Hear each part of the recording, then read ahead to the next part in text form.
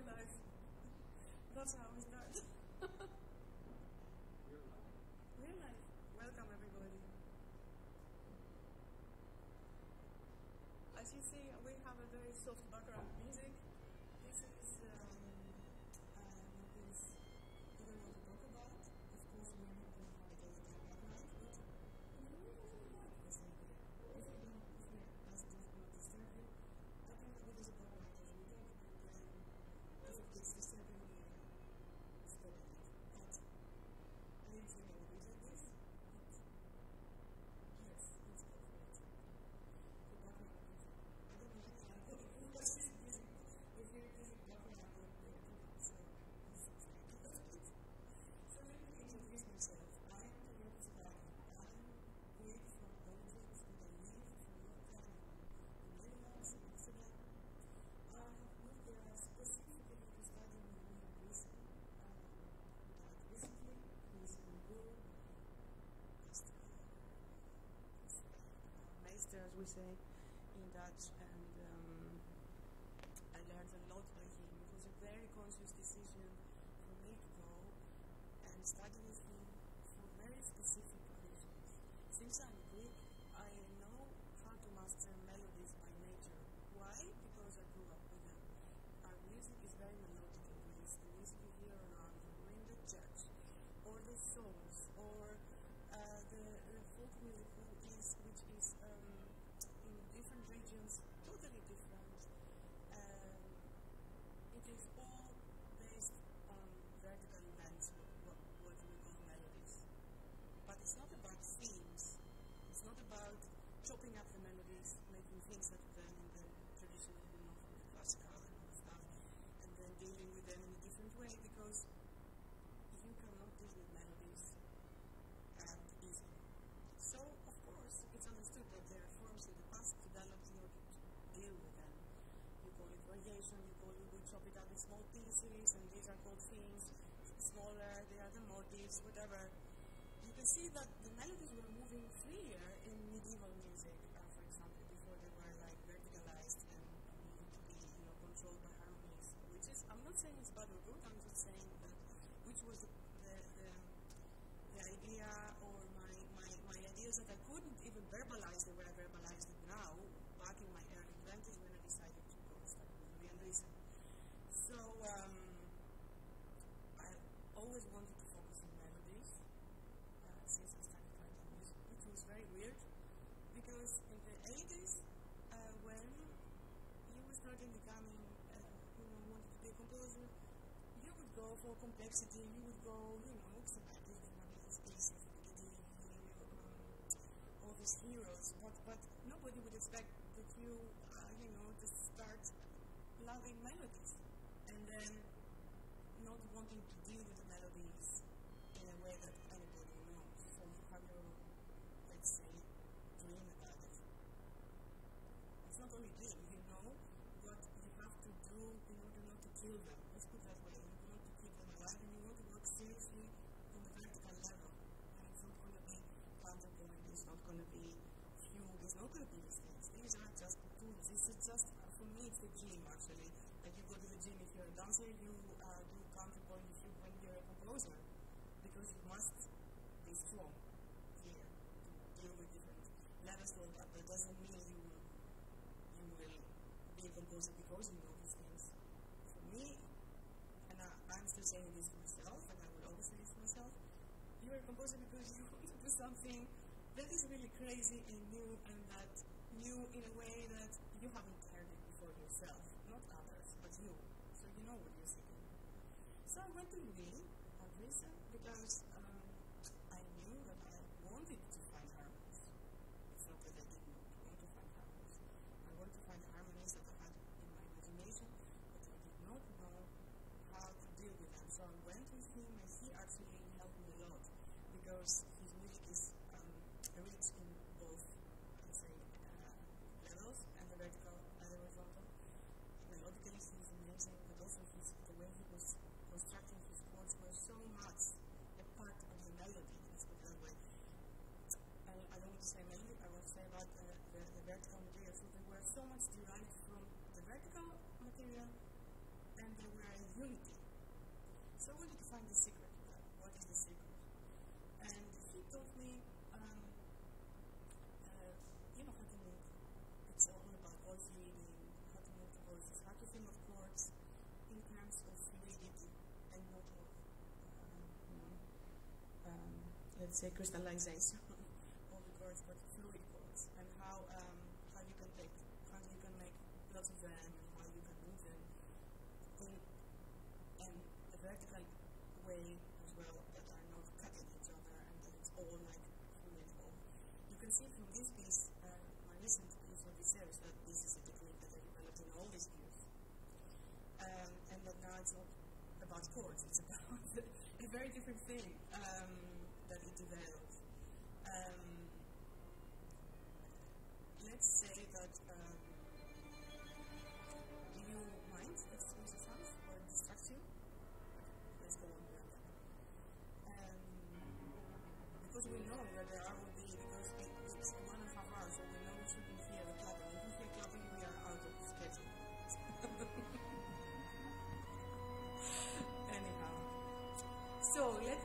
Further on that. Let's say dream quest of how to make music that will not be like crystallized, like frozen, like um, um, losing kind of life.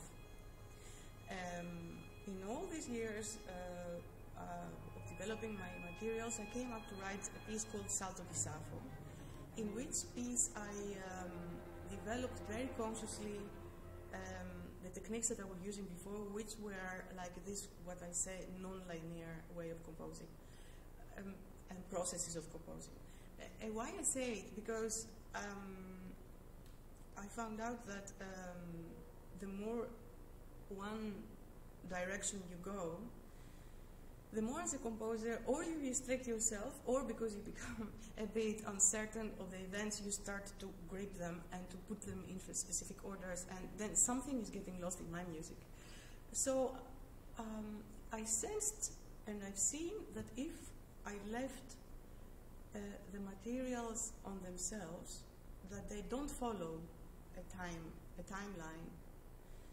Um, every day, you're working with a material, let's say a sentence or, or a phrase, a phrase that can be only melodic, a phrase that can have different aspects of harmonies, a phrase that um, develops from from mono, monodic, so one one voice to more voices, then going one to one voice again, these kind of things. And I discovered that um, sorry that the material was um,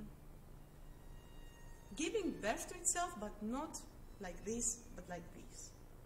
So every day I was going for this specific melodic fragment, and this melodic fragment was telling me, I can be here extended, I can be extended here, you can uh, use a fragment of me here. Uh, I think I'm gonna stop it now because it gets a bit intense and then I cannot concentrate myself. Um,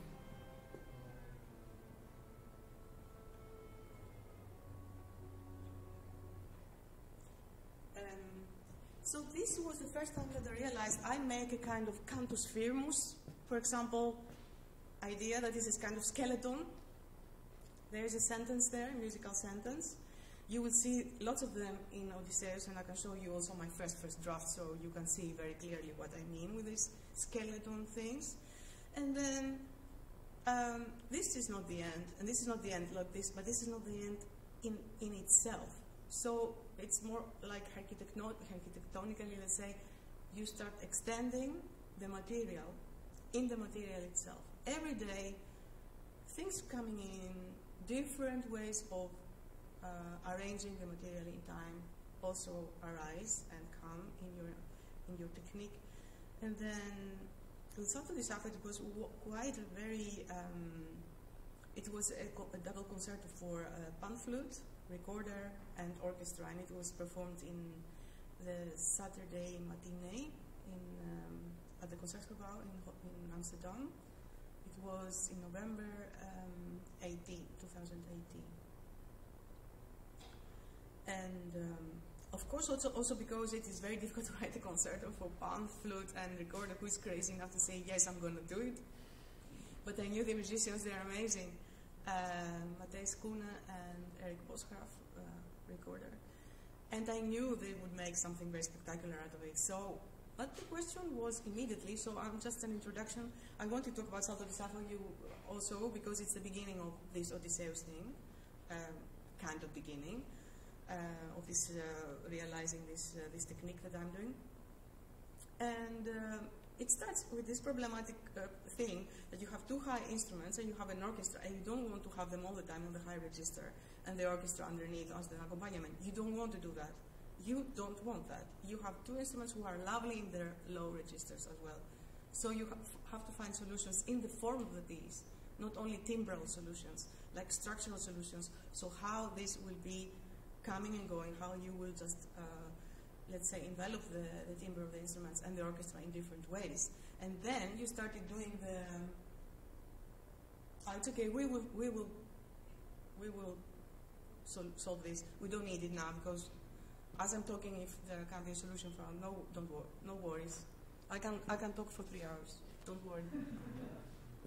So, um, so what happens with Salto di Sappho? Because it's also this idea that Sappho is, you know, is jumping from the big white uh, uh, cliff abyss in Lefkada, the white island, let's put it that way, it's called Lefkadas, and the myth says that she jumped for there and committed suicide because she um, you know, was in love with somebody. Um, a very passionate kind of action. But if you are there, I only see pictures of this specific location, uh, which is called uh, Salto di Sappho or Lefkadas in Greek. Uh, it's just like a magic place. You're on the top of the of the of the sea of the Ionian, and then you see all around you. It's sea. It's it's it makes you crazy. It, uh, I can imagine that people are jumping because they're getting crazy also as well there. And there are some people who really jumped. Uh, we don't know about Sappho. It's all it's just a myth. But um, uh, uh, and there was also a temple of Apollo there and things like that. So it, it is it is a it is a place. It is a place that uh, asks for um, that, that I don't know, like, like uh, it makes it makes you um, come to an ecstasy only if you are there. I think I've never been there, but I I've seen pictures and I got that feeling even from the pictures. And my uh, um, relation with this place is that when I left to go and visit Louis Andriessen and to leave uh, Greece forever, let's put it that way, because in this quest for music, sometimes you have to say goodbye to the places where you come from, unfortunately. But on the other hand, I am somebody who is seeking for new things. So, yeah, it was a part of my nature to leave. Um, and you all come for different spots here. I mean, you come here also as well to learn, and perhaps you don't go back home or you go. I mean, we understand that. Uh, like artistic emigration, it's it's very ancient. Let's put it that way. We, I have read also that in, in medieval times the artists were walking all Europe with the, carrying their artworks and, and, and um, uh, in an exposition about uh, a medieval uh, Dutch painter and all that stuff. So, I mean, we know for artists what it means to travel. So the boat, uh, because I went with the boat and then with the train to uh, Avignon, I was following also courses with Messiaen and Boulez and all that stuff. And then I moved to Amsterdam with the train again to meet Louis. And on the way to do that, in the night I've seen this light, and this light was coming from this, uh, um, um, let's say, what's the name of it? This uh, rock, this big rock there. And um, I imagined that this was the spot where Sappho jumped. Um, and I imagine that I also, in a way, were jumping in the darkness because I didn't know what I would go, what I would do, how things would come up in my life, or with, uh, with uh, leaving all these things behind. It was not easy. And then I wrote this piece about, you know, imagining um, in the form of it like huge curves of going down and then up again. And in this, I put the registers of the recorder and the, and the pan flute on the low registers, then getting them to the high and all, and I created a kind of waveform. But in this waveform, it was very clear that it was a floating form, what I named floating form. That means that there were lots of ways to create it, and there was a lot of inserts to put, and after all, you choose for um, one spot that your piece stands at, the, at its best, let's put it that way. It could have been also different, and perhaps it wouldn't have made, made any big difference. I mean, in the following orders or in the inserts.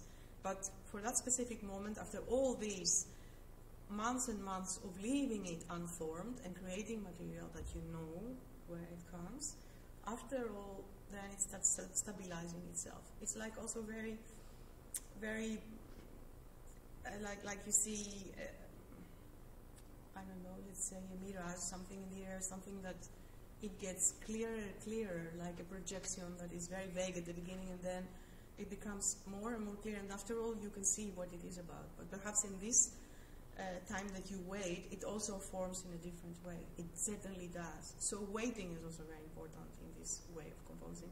Having strong nerves also because you never finish it. You never say every day, oh, I have made the four minutes, five minutes of my piece, I am going further.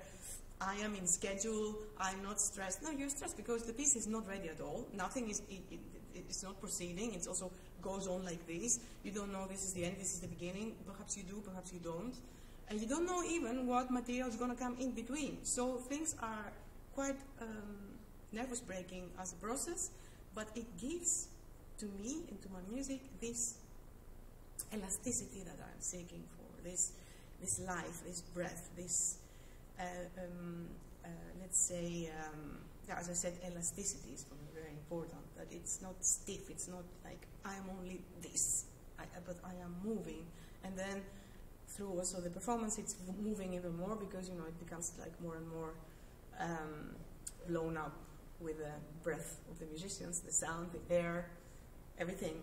And I want to have that. I, so I'm not like saying all the time, um, you have to play only this, and I'm not controlling, I'm not overnotating. You will, you will see also my score, because I want to have um, the musicians um, coming with their own life, filling in this floating form that I created. Some of the stuff was really freaking, freaky because until the end, until like quite a long time for the deadline, I decided because uh, I, I, was interested in creating movement in this form because I chose for this cantus firmus idea because then you have harmonic points uh, in a longer phrase, let's put it that way, even in the whole piece, something like that. And then um, I inserted uh, moving uh, elements like float, uh, move, uh, more dynamic movements of strings or let's say shorter notes, waves or whatever. And I'm saying all these things because these are the, some of these elements I have used in Odysseus. Odysseus is not 17 minutes as Sappho, it is one and a half hour. This is, um, it, it was meant to be one hour, but it's because of this elasticity I'm talking about. It uh, stretched half an hour extra. Can you imagine that? And It was really, also for me, quite weird to see that this what this technique brings. But also we had to call for the, because that the premiere was at the November Music and it's a festival. So they were planning like strictly what will happen after my premiere and other, I mean, I endangered my, own, my own piece that was coming after that. and. Um, but it is very rewarding as a result because um, then we talk about music which is alive and um, in a way cannot be controlled even if we would like to control it. We think too much of control because we're composers and we do control it. But I still think that the music also should just talk by itself. Just do something outside of us and bring us together. So um, this is the philosophy behind it. Talking about the big um, rock in the middle of the sea in Greece, I met my friend and wonderful artist Avoiska van der Molen. With her we worked together on Odysseus. She did the projections and the image and I did the music. Um, for the first time I just met her in the opening of a very amazing book of Rem Koolhaas, the architect. And he presented his book. It's a huge book. It's called Elements of Architecture, very inspiring. And it was like a huge event. I found it in Amsterdam. I thought this was the most hip, hype event I could ever, you know, be there, even better than a premiere. Well, how can I say it? But I thought of it. And then um, she came, of course. And um, I told her, I, I met you through other common friends. And I told her about Salto and she just takes her mobile. She said, she says to me, look at that. And that was that. I don't know if I have it on the right. Wojska, if she's looking now from the streaming, I'm sorry if this is not the right. Perhaps it is like that, but it doesn't really make any difference. You know, it, it's not about having the right. Perhaps it's like that. Perhaps it's like that. Certainly, it's not like that.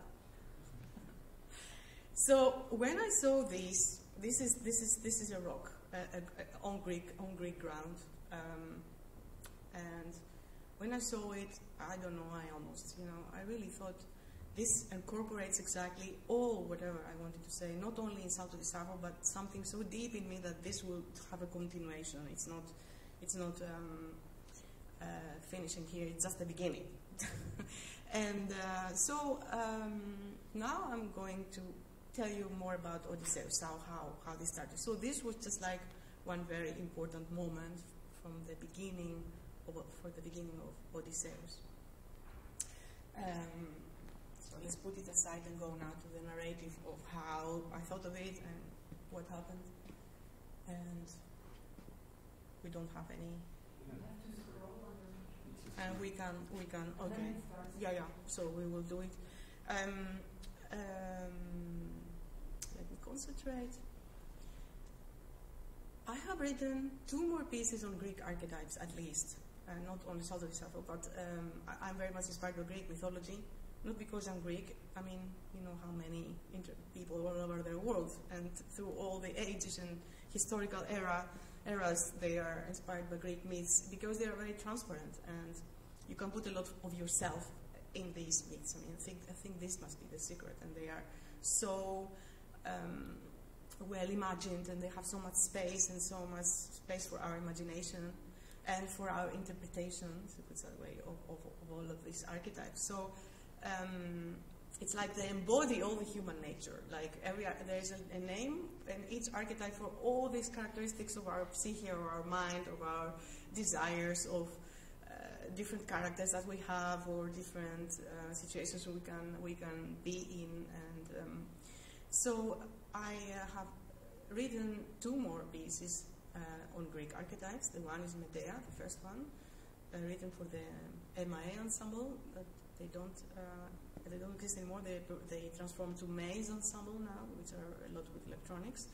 And um, um, I was asked to do something on the term of melodrama, and then of course I thought, yeah, the most melodramatic thing I can imagine is Callas not singing. So in this film of Pasolini, like there is no, I can't imagine another melodrama more, uh, you know, like really shocking than that.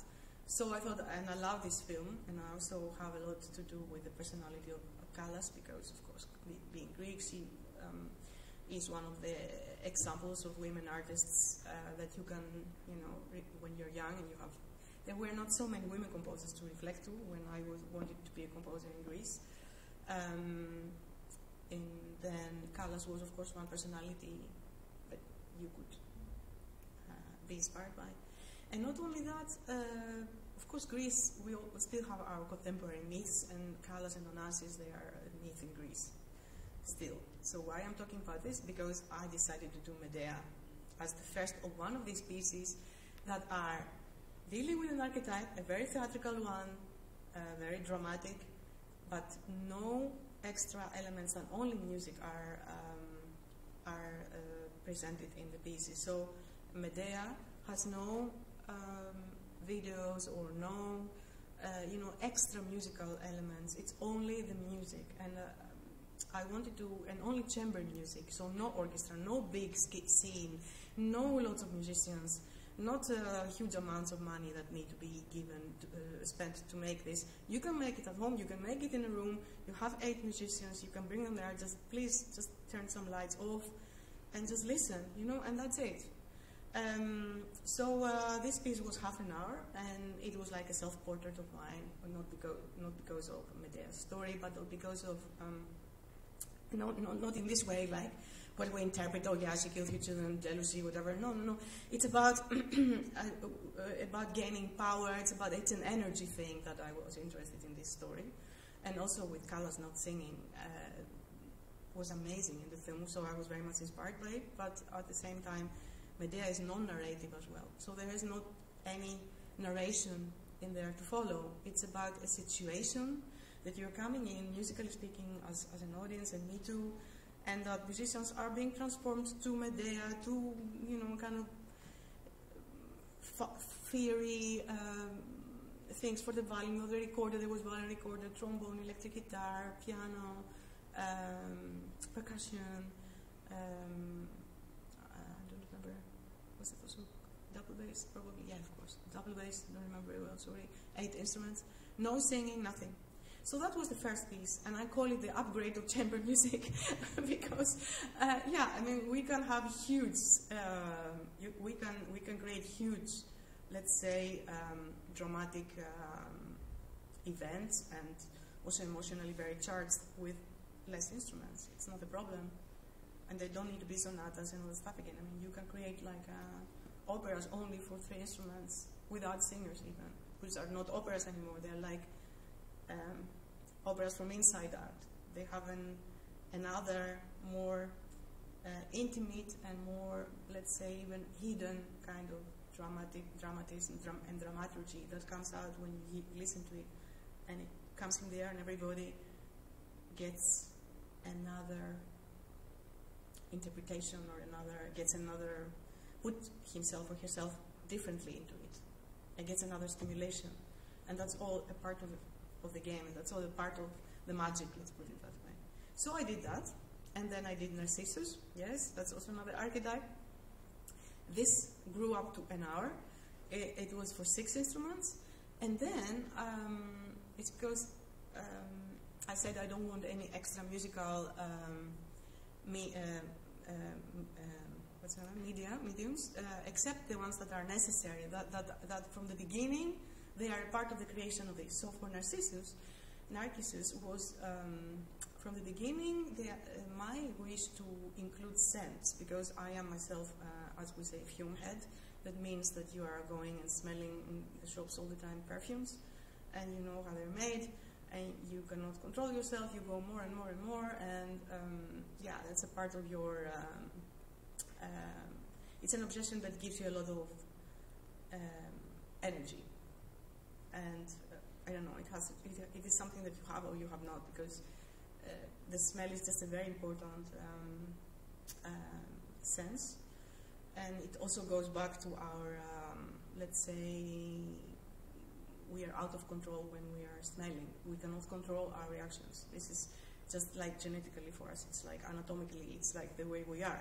You cannot control your uh, reactions to a, to a smell because you have been connecting the smell with a specific emotion, a specific situation that you smelled it. And this will always be there, and it will always be recalled when you smell something that you recognize. Uh, for each one of us, it's different. So, for example, there was a rose perfume that could be nice, and then if you have it on, the other person will come, oh, you make me think of my grandmother, please don't wear it again. Uh, or, oh my god, it makes me think of um, my vacation, or it makes me think of this, or you know, you get like I don't know how many reactions that are not coordinated anymore because everyone has a different data bus of these of, these reactions. And of course, there are some general things like um, there are perfumes who react in different way with our emotions, and I played with this in this piece. Um, it's called also Narcissus, a play from music ascent. I composed it for um, an ensemble that's called Nieuw Amsterdams Peil, NAP, N-A-P, in Amsterdam. Um, the two uh, heroic musicians are the pianist Gerard Bouwhuis and Heleen Hulst, uh, violin. They are soloists. They are also together and um, like married. And um, they have this ensemble. They, they, do very special projects, and they were very open for this uh, piece. Um, I thought of it as a kind of double concerto. So the dramaturgy in this, it's a kind of double concerto idea. So because there's always a musical idea in it. And then we, we and my friend Tanya Durlo, the scent expert, we made a counterpoint, talking about counterpoint, uh, in with scents, with building up a specific scent as the composition is, is developed. The composition has two, let's say, main points. The one is the piano world, so it's Narcissus uh, being, let's say, uh, the very beautiful youth uh, person, irresistible, also cruel because he was re- rejecting everybody, uh, running around the lakes and, and um, in the nature, and it was it's very mystic, also very sensual in a way. So there is another kind of scent, um, uh, let's say, uh, note there, and then we built up all these notes, and we came to the heart of it, which was a very complex, um, uh, more complex narcissus flower smell. And then on the long run, uh, we, we brought also um, scent that was burned because it was kind of more ritualistic. Because Narcissus just with when the violin uh, comes more becomes more dominant in the whole of the piece because it's about piano dominating timbre with the alter egos, the friends of the piano, which were horn and harp, and then we had the violin main like dominating timbre of this, which was like a violin, cello, and bass clarinet. So I did I, I made it like this. Of course, there are tuttis and everything. And so we go, we go from a kind of more diffuse idiom to kind of more monophonic also, and then we burn also incense, kind of um, specific incense that uh, Tanya, um, you know, included in her composition. And at the end, when Narcissus is being really transformed to this flower, because that's what it is, after all, he dies in the myth and they, there's this flower growing in his place. And it's very, it's a very paganistic idea. And then at the end, you can smell all the, the whole perfume because it's in the hall and it's being built up during the piece. So at the end, you have and the chord of the Narcissus in the piano, the musical chord, um, uh, which is very signed, like the sign of Narcissus, and you can smell all the built-up perfume. So and then it remains in the air.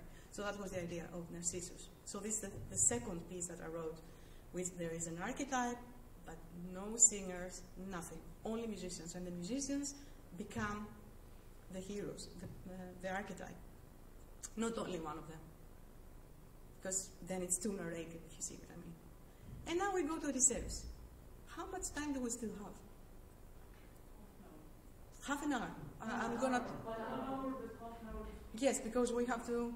I'm going to be very quick about Odysseus because I didn't think that I would talk about Medea Narcissus so long, but I think it's good for for um, it's good because it's a part of Odysseus as well. This idea of upgrading chamber music to something operatic, something big. I mean, this is what what it is, and these two pieces are very important as development for Odysseus because Odysseus is a piece without text, based on text, based on the epos. It's an epic story and there's no narration, there's no actor, no singer, there's no text to read, nothing.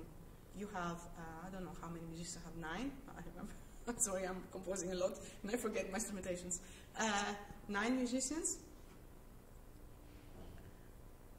and they are all creating um, a soundscape, creating a situation which Odysseus is. Reading Odyssea, I read it, let's say, not only from before uh, when I, I was studying at school, but for this specific piece, I think I read it three or four times, having the translation and the ancient Greek text because I can read ancient Greek, but I need also the translation. But I understand very well the structure of, this, of the of the sentences and everything. So what I did is I studied uh, the let's say the narration techniques of Odyssey. Um, if I will put it very quickly, I'm not a philologist, I'm just a composer and I'm using these things to structure my music. So what I found out is that we have narrations in narrations all the time. You never hear like, oh, Odysseus did this, oh, Odysseus did that. No, you hear immediately all the time uh, different persons from Odysseus talking about what he did. They seek him they try to find him. Telemachus goes and meets Menelaus and the other uh, um, uh, king to find out where um, Odysseus is. He's, uh, we get stories from all around about what happened, also from Ilias. We get to know that we don't know if he's alive or not. Or the last time we saw him, he was there. Blah blah. All these things, and then all the time, even in the realm of the dead, they talk about him, the dead, the living talk about this, what his adventures, and they don't know what he did, and the gods. So we have three levels of storytelling and stories in stories, which are um, also non-linear. so there is something about storytelling that is non-linear that is very attractive. Um, of course, to make such a piece, one hour long, that was the idea, without having any narration, without, um, let's say that you commit to the adventure that Odysseus also committed himself to. So the hero, like your technique of composing becomes what the hero did, like losing track of orientation, uh, traveling all the time, not knowing where to go, where to go, or whatever was happening, like the, the, the journey just always was deviating by unexpected factors. Um, it's about also the desire, actually perhaps not to go home after all, because he did his best not to arrive. All the choices he did was like created more and more problems. Um, I also found out that that is a soulless creature, Odysseus it's it's not it's not a living being. I mean, it's not it's not like it's not like an, an um, that you talk about uh, a person that has had a life. Odysseus did not actually have a life. It's like a myth in itself, but not like Narcissus with his stories and all that stuff. It, it was like very something very empty, very cosmic. Very it was something more about moving, movement, um, than um, drama or these kind of things.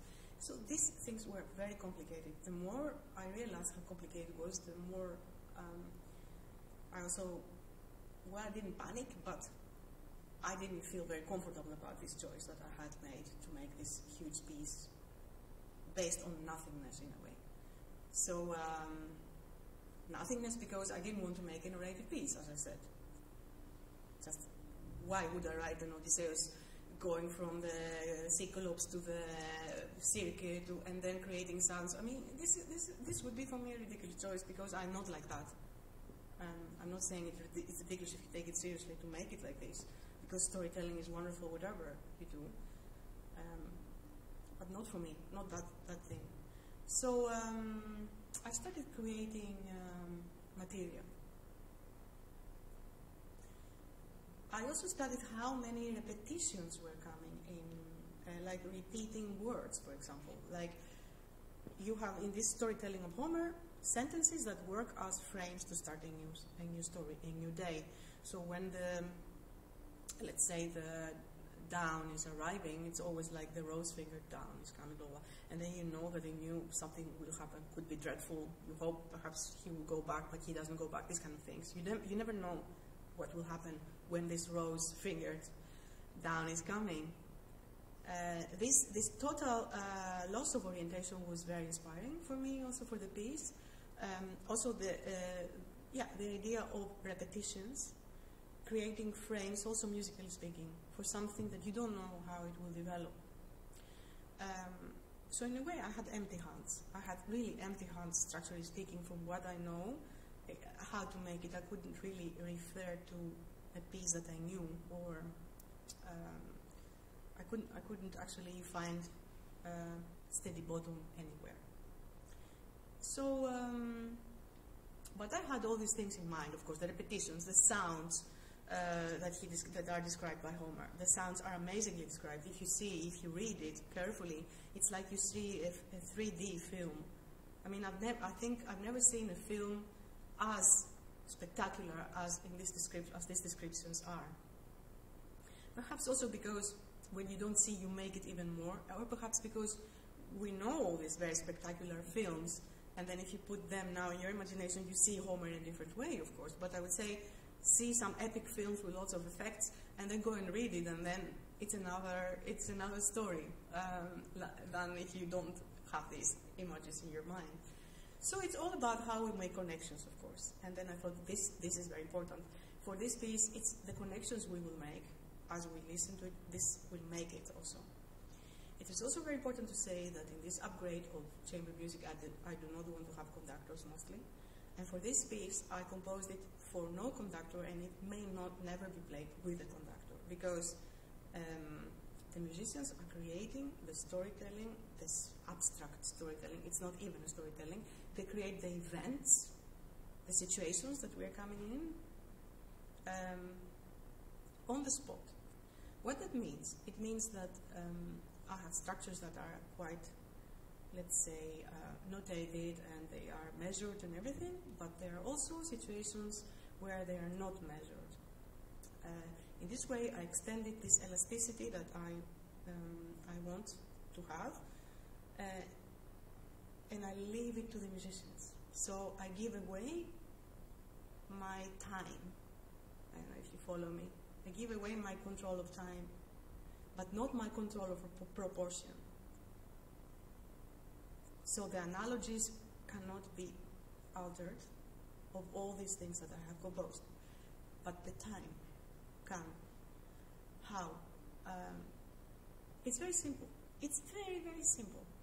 Um, I thought of the role of the musicians very well because they are their conductors, they are the Odysseus, they are all the monsters, they are all, they are the sea, they are uh, the, the, the witches, they are the animals, they are uh, the nymphs, they, they are everything in, in the whole Odyssey uh, adventure.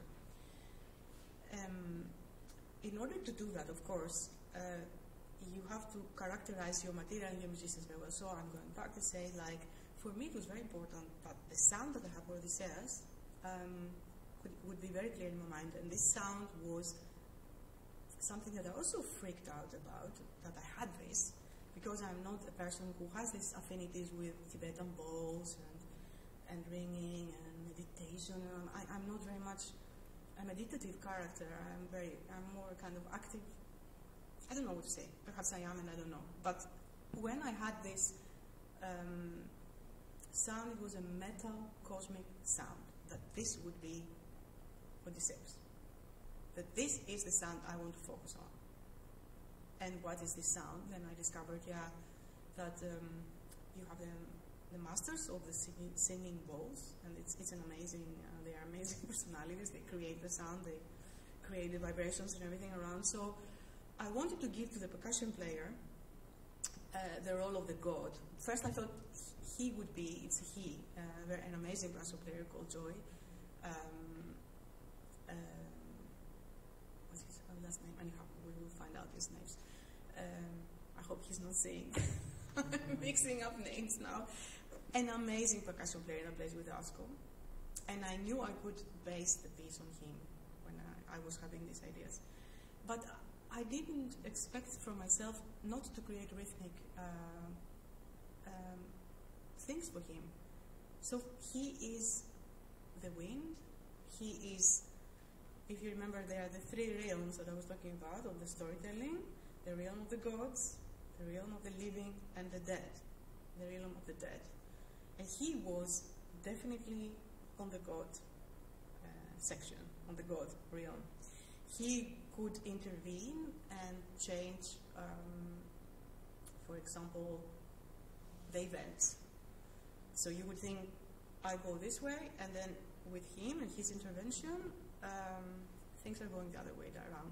It can be a way of uh, the wind takes us in a mild way forward, or it can be only uh, bringing, bringing um, let's say, obstacles and changing the flow of events. So these things are happening in, in, in with him. He is mostly have, he's having no rhythmic, uh, let's say, membrane kind of uh, instruments. He's playing singing bowls, gongs, and all vibrating um, uh, instruments. Uh, no vibraphone, for example. I was dreaming of using the handpan, but we agreed with him not to do the handpan because it could bring too many associations because he didn't have a handpan and because uh, it would be a happy coincidence he didn't have it because with the gongs the sound was more abstract. I have a fragment to show you on that. So um, the other instruments, uh, the piano is creating, of course, waves of sound, waves of uh, uh, going up and down, like uh, um, moving and energy. You could uh, translate it as a kind of sea, sea waves or whatever, but it's like a lot of unrest can be brought also by the piano. And then um, we have the other instruments that are having uh, moments of homophony together or creating these kind of uh, st structures that are concrete, uh, that are appearing, and I gave them also names. The piece, the whole of the piece uh, is, consists of um, um, some elements that I have named because for me they were symbolizing something and it was very important to play with these materials in order to play with the memory of us when we were listening and in order to distribute them and understand how to distribute them in a one hour scale. And this needs control and, and I also need there a bit of narrative factor, please. I mean, you know, it's not abstract music after all. No, it's not. You will see when you hear it. It's not abstract, uh, but it's also not concrete.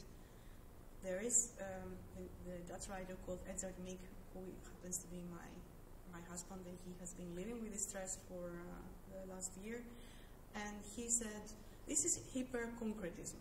It's like it's so concrete, also the image of a voice car and my music, that becomes abstract when you look at it because you look at it so close, you just go through it and then you go on the other side. So something very concrete becomes very abstract.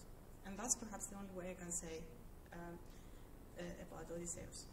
Um, shall we go and talk a bit more in more detail about the composition because we need some more details before we listen to it. Um, I can show you the score, uh, but I, I prefer that you just you know, see it privately. I don't want to show scores on the computer. It doesn't make any sense. It's one and a half hour piece. What would show the score? So I think everybody can navigate, because it's about navigation, and check out all um, of the things on the score your way. I have two.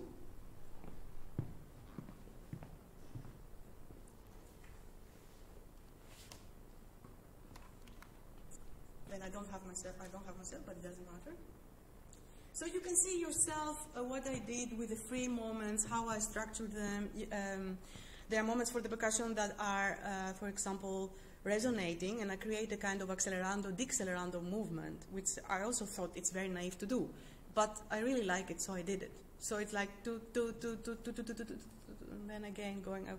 But this creates an amazing resonance when it is played on these metal, uh, metal uh, uh, instruments. And even if um, it has something naive, naivety is part of composing because if we were very smart, we would do something else, I guess. I don't know if you agree. I do, actually. so let's go now for the. And I also something very, very um, spectacular. I have my manuscript, not all of it, but I have some pages of my manuscript here. Uh, they are not very well ordered because it's not about order, this piece, but about disorder, ordered disorder. If by any chance you want to see processes of working here, but please don't lose any page, although they're photocopied. The one really, really uh, manuscript is this one that I use only to put it in. You can see that I am putting dates in my manuscripts. It's because I would get totally lost because I'm making the same material for months uh, creating it all over and all over again. So now I will tell you about the method, and um, you will see that in this manuscript I put dates uh, that I composed it, because next day I could go again, expand the same material, or work on the same material, and then I need to know which day it was, because the more I proceed, the more I get lost in all these inserts and developments that are not linear. So in order not to get lost to this, you have to order yourself very well. I mean, you need a lot of order, let's put it that way. Um, so by putting dates, you remember that this is older than the other one. So um, you can still mix them, but you still know what you're doing. Otherwise, you lose control of your own material so date, uh, uh, giving dates where, what was when, it's very important. Who wants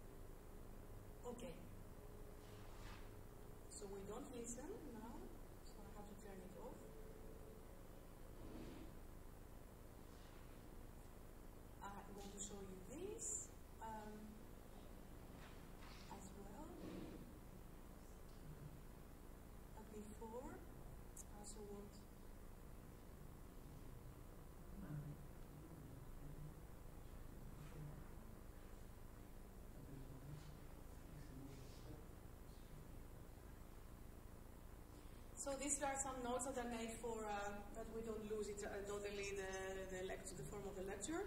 Uh, oh, I'm not to lose the form of the lecture. I'm losing it already. Anyhow, um, I made this kind of materials that I named, as I said, because these would be orientation points in the piece of the uh, in the in the school hour.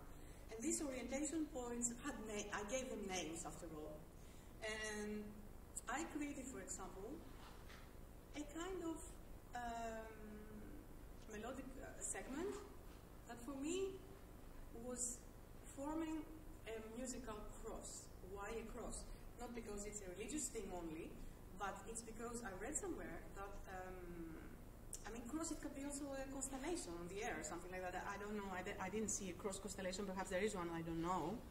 But um, I was imagining it as a, as, as you could have a constellation and to orientate your you know sailing to nowhere and that you would like to see where you are you could see that this is the constellation cross. Of course it's all fantasy. Um, and musically speaking i thought it would work the same. So if i would bring this melodic segment which is which i never transposed by the way because i wanted to have it always recognizable on the steady point on the steadiness of it not in the steadiness so not in, in fluctuating. So not transposing of that. It's a bit of a serial technique. So it was there are some intervals that are crossing each other. I will show it to you in the in my script.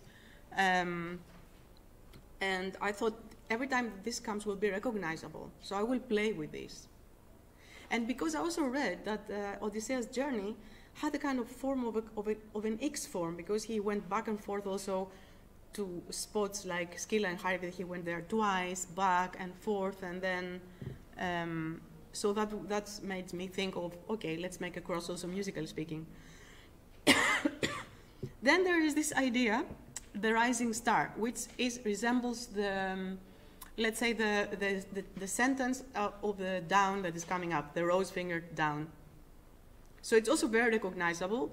It imitates uh, a kind of uh, harmonic, uh, like the harmonics uh, building up, like the octave and the fifth, but then goes a bit. It's, it's a fiction. It's not really, it's not spectral at all. But it plays with this rising thing, you know, rising star, rising harmonics, you know, whatever sounds. It's not harmonics. It's all, all normal sounds. Then I have created a kind of a bit lamenting thing that's called high song because or song of songs. You know, it's like a bit of lamentation, something emotional, but you don't know why. I created uh, this, what I said, the accelerations and decelerations that are called uh, pendulum, because the pendulum goes up and down quickly and then slower. And I wanted to make a big of a magic idea in this. And so I created poetic terms for musical material. Um, and then I was also naming, um, in the process of composing some moments, I gave them names. I gave them Fata Morgana, Mirage, Drifting Away. You can see it all in the score. Uh, Aeolian soundscapes and Aeolian songs for the percussion player. Um, uh, I will show you here. So this is the first page ever. Uh, you can say like it was the I started composing in November, but of course I had ideas before. But this is just the first attempt to really go on with them. And um, here you can see the creation of all these elements that I talked about. This at the beginning, this little thing with the A and G sharp, it's only two notes going up and down. It's very important because it's all about going half note up and down. It's a bit uh, also of um, let's say um, that like the movement of the sea uh, of the boat like going this and this it's in there. But it's also very lamenting if you put it uh, if you hear it. Um, this kind of I didn't want to play piano but I will play that one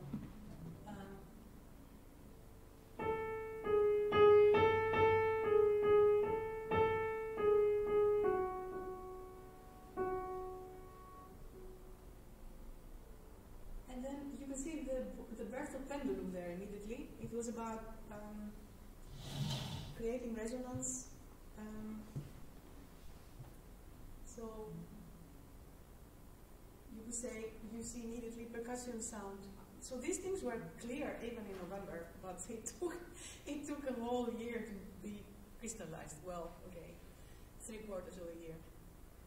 So uh, these were elements that were for me very important.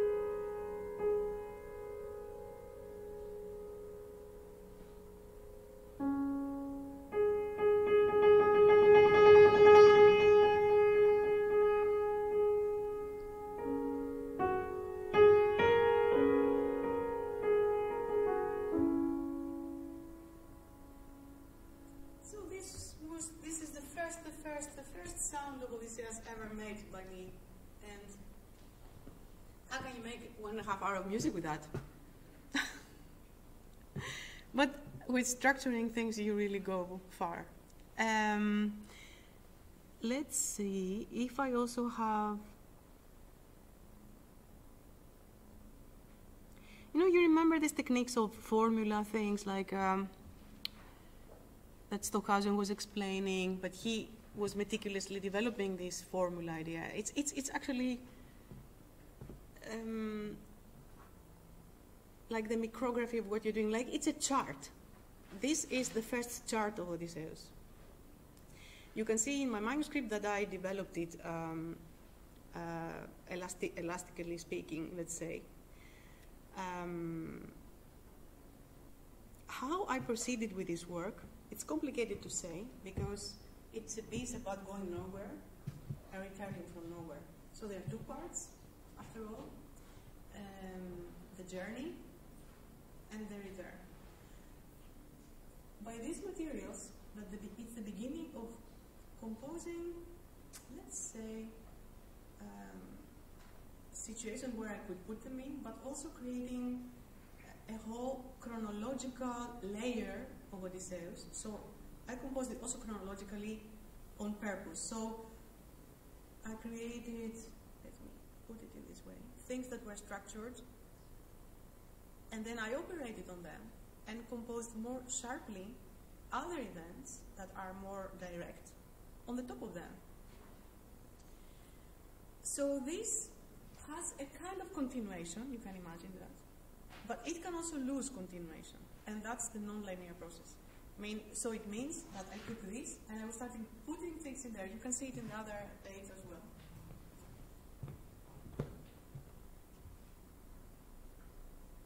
This is page one. here, you can already see it from the page two. You can see there are possibilities for having here kind of accompaniments. Um, this is here uh, the, the cross idea that I had. These are the intervals that I was talking about. And this is an attempt to put them together. And then you see, I say, I write here, and after you can put this, and then you have this, and this, then this can come inside, and then this, and then that, and then the pendulum, and then the cross could come in, and then, and then, and then, and then. So these charts are developed by me, all the time structuring them clearer and clearer and clearer, until it comes to the form that you see in the, in the score, developed like this. Uh, um, by operating sharply, it means that you create also moments that are more dynamic. Uh, the, movement, the movement and the arpeggios were very important because they would give kind of direction. So I put them also, I, I inserted them in on a different state, state of uh, writing. I also did that until the last moment I was changing orders. And then I compose also little chorales. Like I also like the word choral, but choral from the sea as well. I'm, I'm playing with these things. Um, and these were structured moments, like a choral in a way, with, with uh, different voicings, but not too, too complicated, but you could recognize them also very well and very immediately. And I thought I would work with them more, but they come very, very clear at the end as in the form of islands, because the idea is that we lose all the time ground. We have a journey that leads us to the Song of Aeolos. It leads us to the middle of nowhere just before uh, you can see it in the score, it's called Drifting Away. So we start with um, getting lost in the journey. Um, this moment of the drifting away has also a second idea of uh, Odysseus going to the underworld. It's very mystic, very soft. I think I reflect Timbral speaking to the Coptic Light of Feldman, which is one of my most beloved pieces that I ever really admire this piece there are some timbers that you can think like, oh, perhaps I know it. Could be because of that. And um, so in all this fictive going to nowhere, there are wind moments, there are storm moments, there are rising stars, there's high song coming in and out, all these things that I named, they're coming in and out. Um, not in a following order that you expect they are uh, tore apart as far as I could tear them apart, bring them, bring them apart. This is the power of the, let's say, the sailing, the sea, like you lose dimension. You don't know anymore what the dimension is. So I'm very much interested in this, losing orientation, tearing apart material until, until how far you can tear it apart that you still recognize it uh, as an audience. It's not psychoacoustic. It's really like it's technically like you do it. You you augment materials so that you don't you see like how long can a melody be its note, and yet that you will still recognize it. For example, these are techniques that are inspired by early polyphony because you have a, the, the, tenor and the other little voice in organ, for example, like going in, and then you have a tenor, and the tenor is a well-known uh, uh, melody of Gregorian chant, for example. But these are very inspiring techniques if you want to work with melodies. Also, iso- isorhythmic things like how and how, and then uh, to make them irregular. Or these are techniques that are really also probably used here because I also want to control the resonance. So I don't, I don't want to have uh, by chance resonances coming in and out. I want to control, I want to know in which resonance I'm composing and what this does to the material I put, because that's the consequence of working with no vertical harmony. So you have to control your resonances very, very well. You have to know I'm in G sharp and why, and what that does mean with the rest of the piece. And then you can, you can create more, let's say, uh, colored uh, resonances than if you don't hear it and you're by chance in G sharp and you stay there without knowing and then you don't know what you're doing. So it's, it's actually about not knowing where to go, but knowing what you're doing in order to achieve that. and then, uh, then, so the journey, then it finishes there in the Song of Aeolos. There are two of them even. And then uh, the return. I, really, I, like, I like very much the title, The Return. It's about going back and not never going back. So in the return, the, you can see, you can say like there are two parts with the same material. They even begin, begin almost the same and then it is differently, the energy of the return is very different. There is more, I find more um, dynamic movement in the return. Um, it's also because I have put there a kind of, um, yeah, let's say more um, of these of these uh, piano moments with the percussion and lots of uh, yeah dynamic gestures there, and um, it's also because I wanted to put at the end the total disorientation of the event. So all these choral, little chorals that I have composed, that you can see them in my manuscript, all of them together, they are like nine pages, pages full of these, of these chorals, that I thought I would put them all. At the beginning, I thought that these nine pages that you see there in the manuscript uh, photocopies, that this would be Odysseus. Can you imagine that? I thought that this would be the piece from the beginning to the end. And it, they just came at the end, at the return, tore apart like shadows, like total shadows. And at the end, it is very choral-like. Uh, also the chords, they're, they're coming, there are chords coming where it's not, oh, I, I changed my techniques from homophony to, um, let's say, yeah, lots of drones, lots of, lots of resonances. I changed it with lots of uh, micro, micro uh, harmonic structures that are happening. Uh, also solistic moments, um, very characteristic uh, evocations of trombone or clarinet or violin. And in there, I put lots of dramatization on this of them because they transform to what you would have expected to have from Odysseus a nymph, a monster, um, a beautiful creature of the sea, whatever. They transform to that because they even come out of, of the sea, I mean, of the musical sea, of something, of a gesture that pushes them out. These are things that are done also in Salto di Saffo, like how you push, musically speaking, and you really, um, uh, what's the name of it? Anadeo, it's in Greek that you uh, reveal a material from another material, but come, coming very dynamically out of it. And then when you do this, it sounds like you've never heard before, because it's all a manipulation of how you're doing it. Um, this is the procedure of making it. I don't know if I forgot something.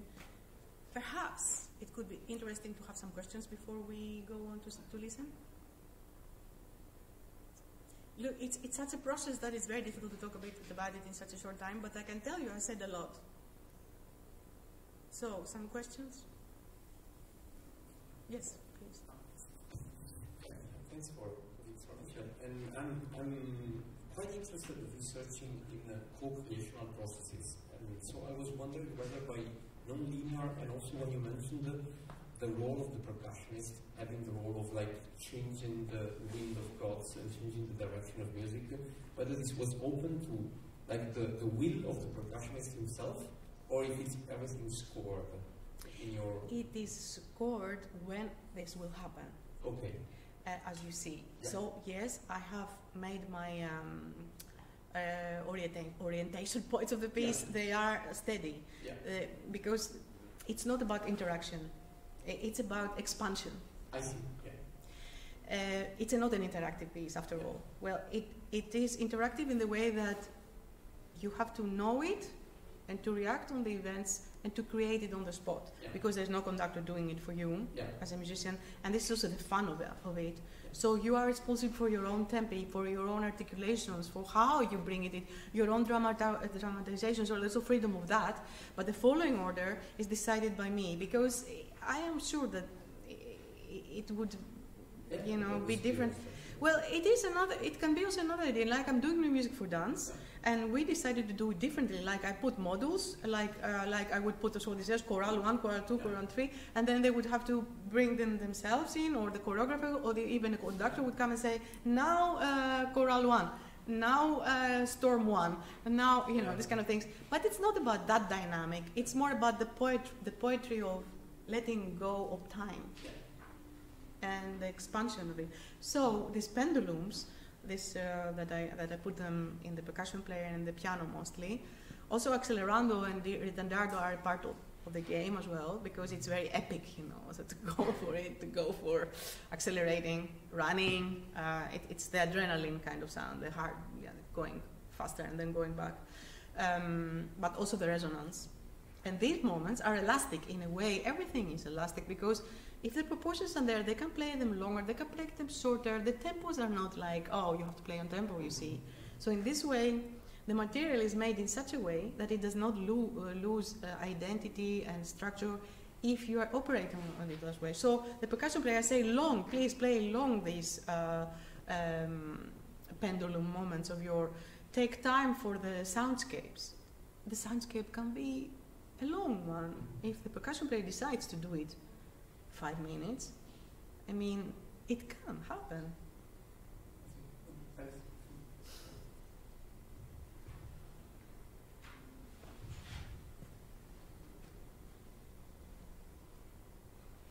No questions.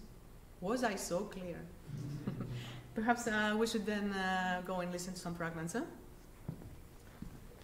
It was uh, very complicated to find fragments. I took me like, and I got, I got quite uh, miserable. I felt miserable and depressed when I was, I was doing it yesterday, finding the fragments, because it's impossible to cut it out, to cut it down. I, all the things I wanted to share with you, and then we will have to have an one and a half hour seeing it. But there is a link of um, the registration for you if you're interested after here to go on your on your own and um, and listen to it. I will give us the registration that November Music has put lots of more performance, so you can also check some other performance uh, of that. But for now, we are going for the beginning.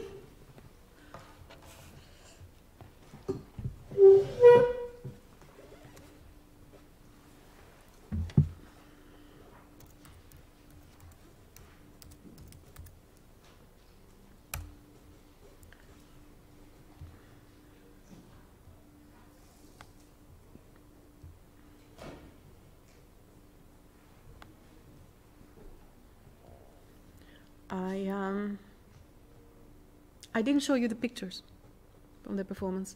I have some very beautiful photographs also to show. It's also important because the visual aspect, I forgot, I didn't say that the visual aspect was also disorientating.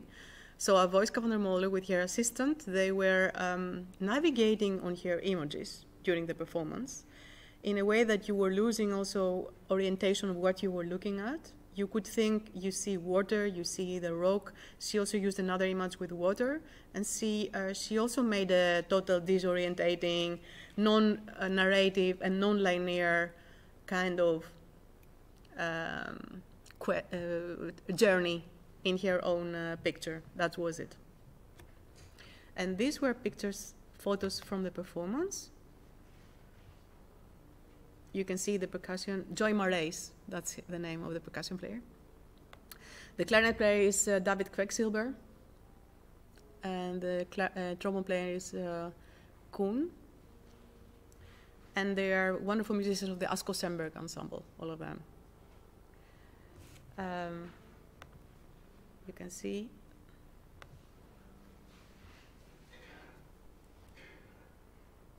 So you can see the projection was big behind the musicians.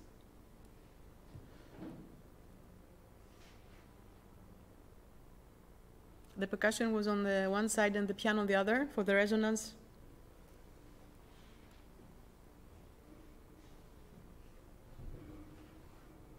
Yeah, that was the setup.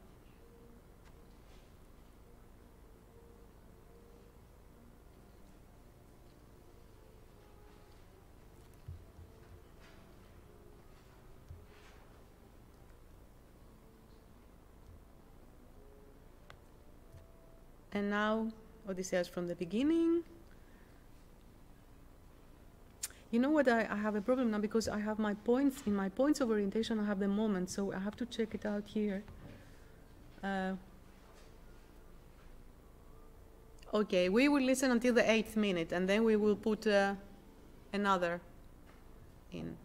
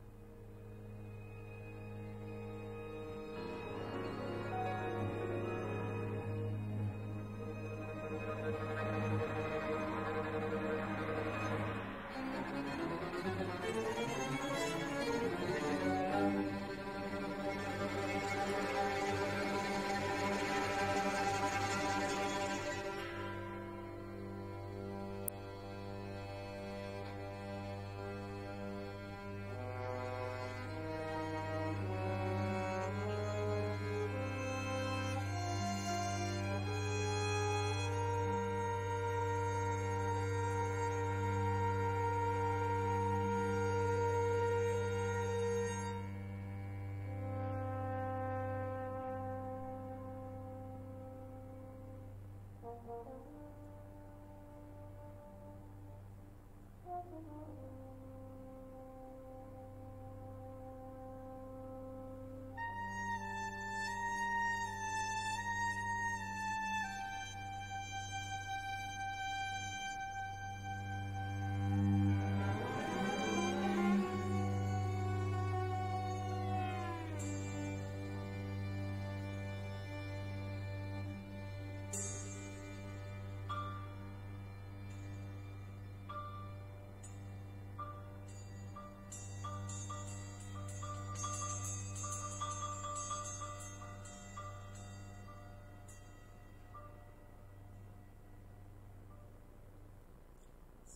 we stop here because we can't listen to it all.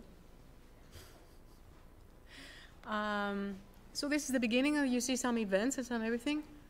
Do we finish? You want to stay? No, eh? So go, go again.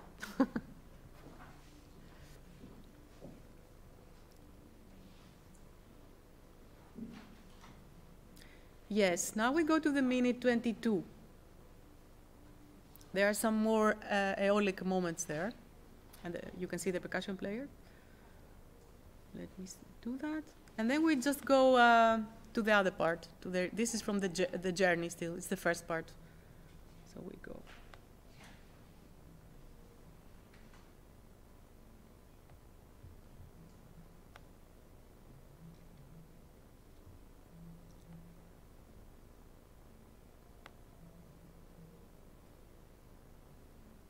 Okay, I just put it from here.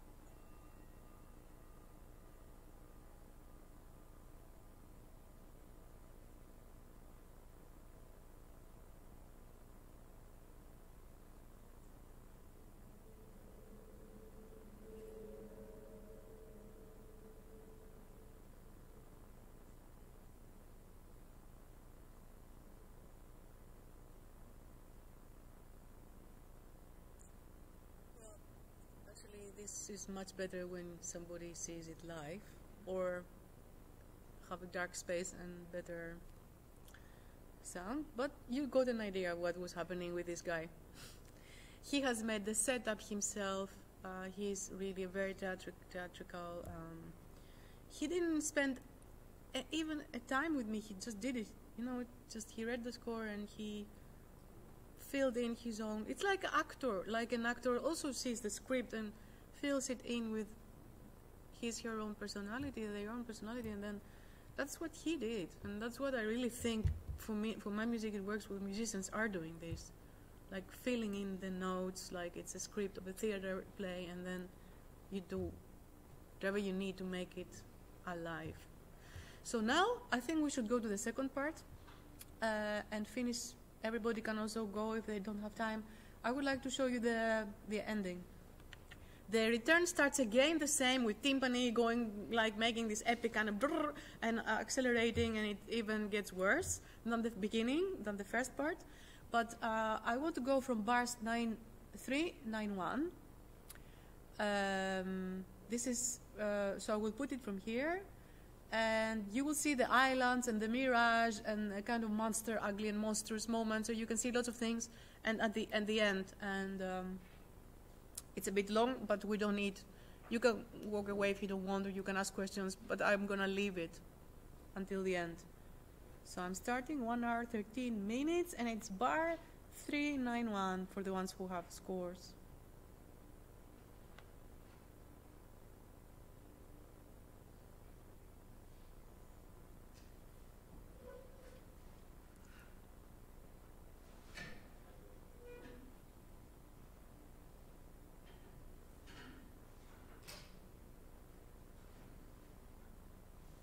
Let's see if I can put it on the 13. Ooh.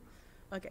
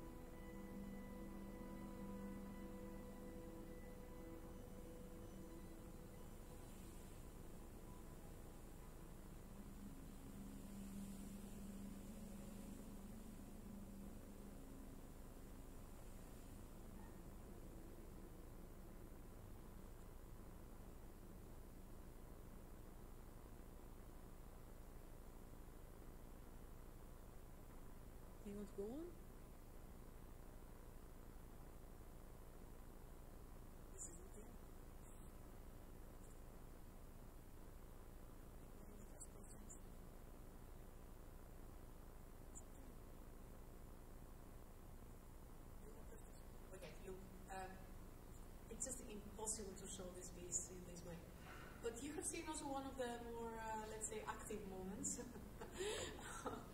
um, it's impossible to show the interaction of the percussion player very well because it just spans half, half an hour you need to only get into it. So perhaps it's a wise idea to ask questions. And leave it as a background at the beginning, so we have A, B, A form of this lecture. So, okay, and then very like this. Yes, okay. Something simple. There is a lot of uh, octave and fourth and fifth sounds, and um,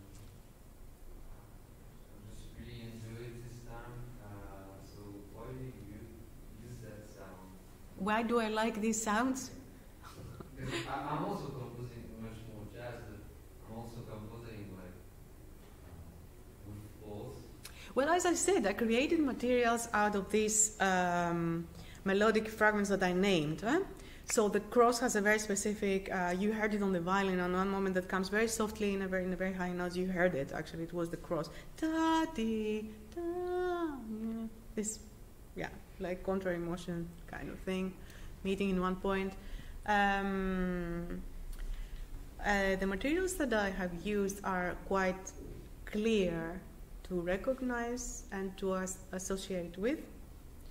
Um, let's say I use lots of homophonic things, so of course octaves.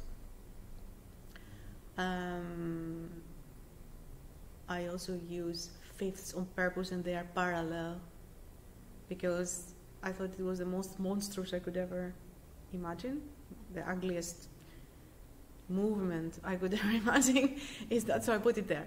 I move it up and down because it's in the motive of the high uh, song, and I said that I move this half down, up, up and down minor second in order to create um, disorientation because you don't know what, which tonal center you are because you go up and down. Uh, so these are the main reasons. The material is clear and recognizable. And one more answer is that I actually uh, don't like very complicated harmonies in my music myself. I mean, I can do it if I want. And if I will find another concept for me that I can explore the more more complicated harmonies of the world, perhaps I would do it. I don't want them gray, so I will always keep them clear. I like colors in the music, musical terms. So colors means clear materials that you can identify and they color the structure and the timbres and everything you're doing. This piece has to do with resonance, so of course, the more open um, the intervals are, the more resonance you get. And the rising star, of course, it starts with the octave and the fifth, and then it goes its own way. Who- yeah, it's a it's semi also the decisions for this Odysseus, but it's also me. I have in all my composing years, then I have came to the fact that these are the sonorities that I really work with. Yeah. Other question? It's plain, but we don't hear anything.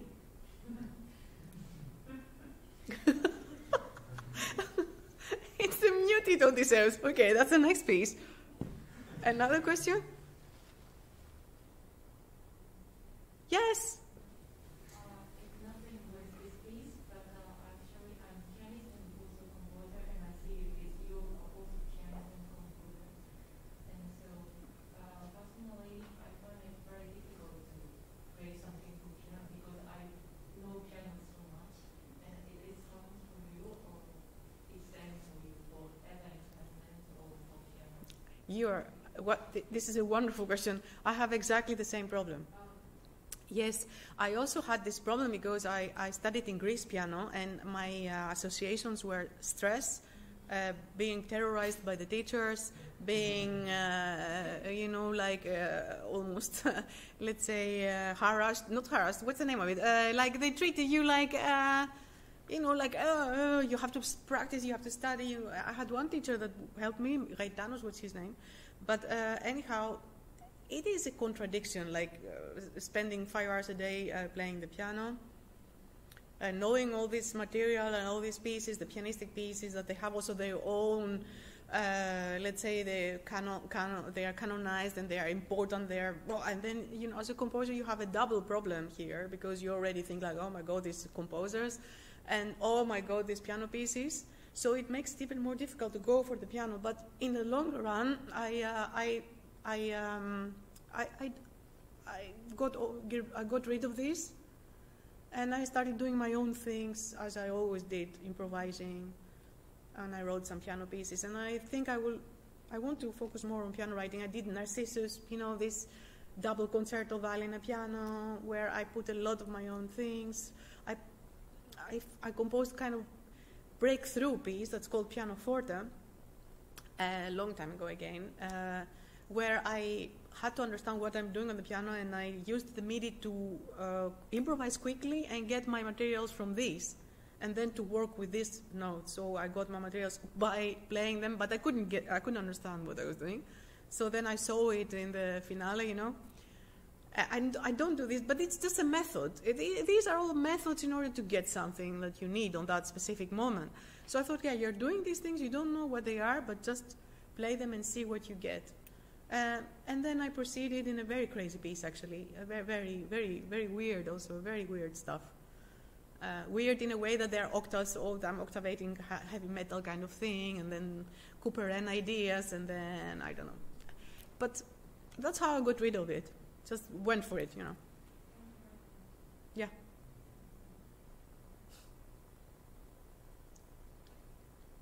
So we are finished. We can have a drink. Okay. Well, you don't hear the beautiful mirage at the end, but it looks it looks like a mirage this way. it's the best way to finish it. Thank you so much for coming here in the morning and listening to all these crazy stories and adventures and uh, composition on non-linear processes. And um, so we can talk after. I- I'm hanging around. So